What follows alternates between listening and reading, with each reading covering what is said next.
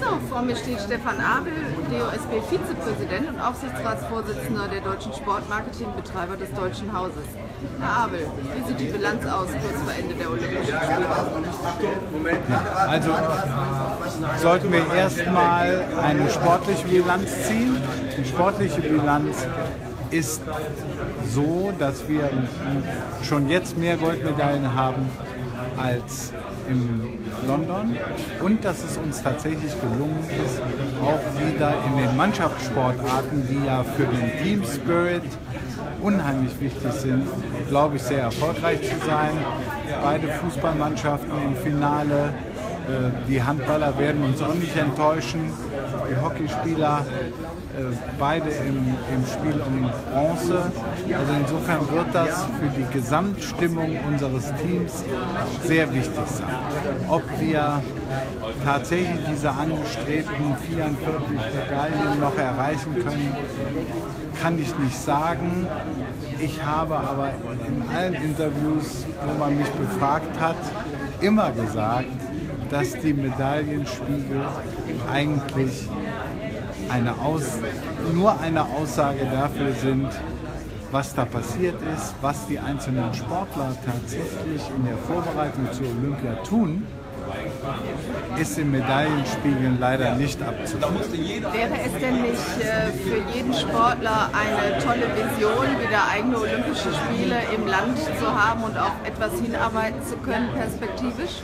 Wie stehen Sie zu den neuen Interessen für eine neue Olympiabewerbung, ein neuer Versuch? Ich war ja zusammen mit dem Alfons Hörmann in der Bewerbungsgesellschaft für Hamburg und äh, wir haben heute im Hockeystadion nochmal zusammengesessen und haben gesagt, eigentlich wollen wir an dieses Ereignis nicht erinnert werden.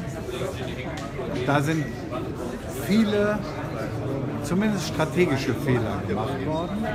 Und deswegen glaube ich, dass es unserem Land mehr als gut täte, wenn wir wieder Olympische Spiele oder mal wieder Olympische Spiele in Deutschland hätten.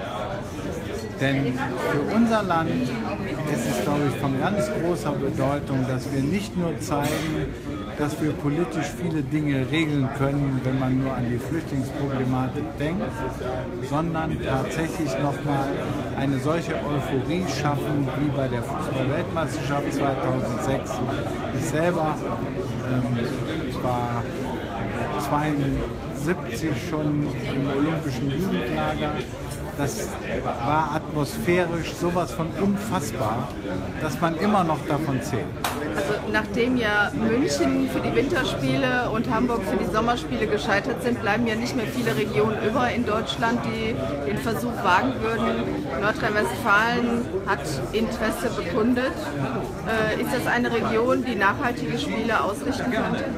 Also, das glaube ich. Ich habe schon vor der Bewerbung Hamburgs gesagt und auch während der Bewerbungszeit Hamburgs habe ich gesagt, wir in Deutschland könnten in der, wären in der Lage, überall in unserem Land Olympische Spiele durchzuführen. Und zwar super organisiert, ohne irgendwelche großen Probleme. Und die Nachhaltigkeit ist sicherlich in vielen Regionen gegeben. Ja?